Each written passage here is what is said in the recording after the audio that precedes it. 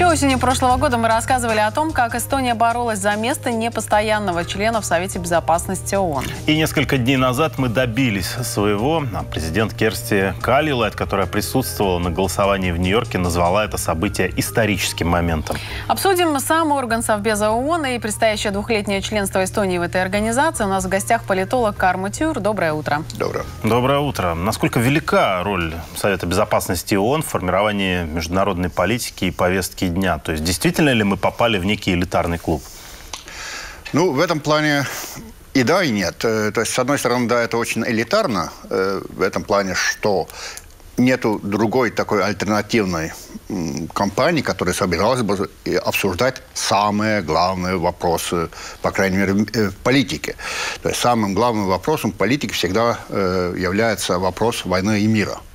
И в этом клубе, то есть они не столько формируют, в этом плане я немножко спорю, это не, не они формируют повестку дня. Они обсуждают то, что уже лежит на повестке, и вот просто принимают решение, как реагировать на тот или иной конфликт, какой это важности, надо ли там применять какие-то меры международного вмешательства или не надо. Вот это в их э, как, полномочиях. Ну а можно ли сказать, вот в последнее время, например, какое решение, принятое Советом Безопасности ООН, э, оказало действительно какое-то влияние на международную ситуацию? Ну, с этим влиянием, да, можно... То есть критики говорят очень много о том, что вот, видите ли, ни Совбез, никто не смог там предотвратить, э, например, э, насилие в Руанде или там геноцид э, Хуту и Туцу, когда между собой э, резались. Э, то есть критиковать его можно, что вот это просто одна говорильня, ничего не делается. Но я бы использовал, во-первых, такой метафор, что э, это как работа полиции. То есть есть видимая часть и очень большая часть того, мы никогда не будем знать, сколько конфликтов э, не, состоялось, не состоялось из-за того, что полиция уже есть. То есть мы не знаем, какая вот, какой был бы мир без Совбеза. Э, и вот те, кто говорят, что вот у нас альтернатив нету, э, подчеркивают то, что вот видите ли, те 70 лет в течение которого существует эта организация, это самое мирное время всего человечества. Так что, может быть, это совпадение, а может быть, это и есть какое-то влияние.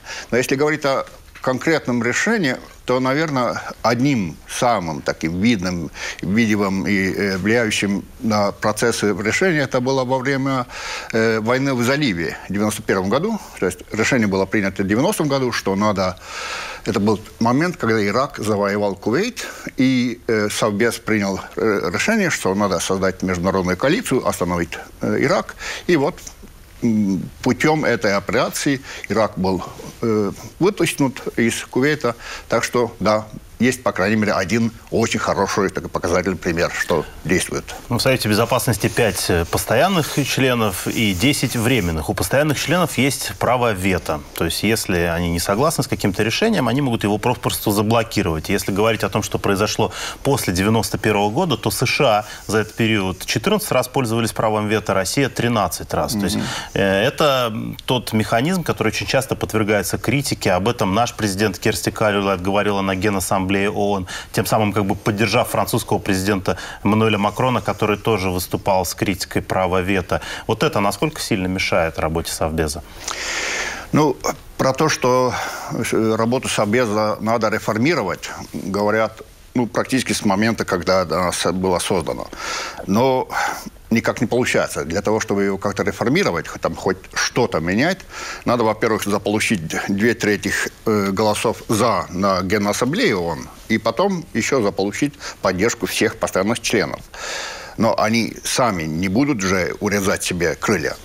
Э, так что, да, это ну, технически можно все-таки сказать, что нету такого термина, как право вето. Есть просто э, там у постоянных, э, у всех членов есть «да» и «против», кнопка, скажем условно. Э, и если вот постоянный член нажмет на, клоп, на кнопку «нет», то вот этот вопрос снимается с обсуждения. Все. Э, если не постоянный нажимает на «нет», э, такого эффекта нет. Ну, так просто что... в народе право вето, в общем-то. Да. Суть та же самая. Да. Ну, давайте поговорим о роли Эстонии теперь, э, которая попала на два года в, в качестве непостоянного или временного члена Совбеза ООН. Э, Какова действительно ее роль? Может ли Эстония на что-то там реально повлиять, что-то сделать? Э, Потому что были потрачены и довольно большие деньги для того, чтобы подготовиться, презентовать страну. Был потрачен миллион, теперь еще в течение каждого года будет тратиться 4 миллиона, чтобы состоять э, в качестве члена Совбеза. Как Эстония повлияет на что-то? Или ни на что не будет влиять, будет просто тихо сидеть и наблюдать за работой? Не, ну там тихо сидеть и наблюдать не получается, так как, во-первых, все члены должны голосовать.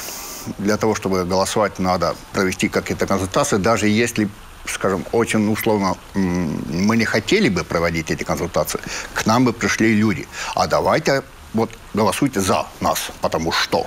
Так что там тихо отсидеться не получается. У Эстонии будет такой же голос, как у и постоянных членов. То есть если э, исключить тот момент, что у нас нет вот этого права вето. Но э, я бы сравнил это э, с выигрышем лотереи. Скажем, вы получили, выиграли случайно, может, это самое, право на круиз. Да, сидеть где-то на большом сияющем корабле.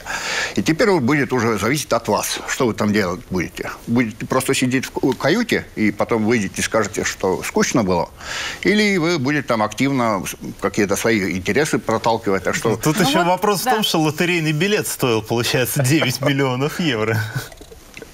Да, но с помощью его, вот именно суть в том, что там будет работать очень много людей, не только вот тот человек, кто будет сидеть прямо за столом, там будут очень много людей в кулуарах между собой общаться, и можно будет продвигать какие-то свои идеи, что будьте добры, вот мы голосуем за вас проект, за ваш проект, а вы поддержайте, поддержите нас в том проекте. Так что там можно будет что-то и выгоду какую-то Ну, как мы понимаем, должен сформироваться еще определенный штат людей, специалистов, которые будут работать э, непосредственно на месте. Как, насколько большим должен быть этот штат?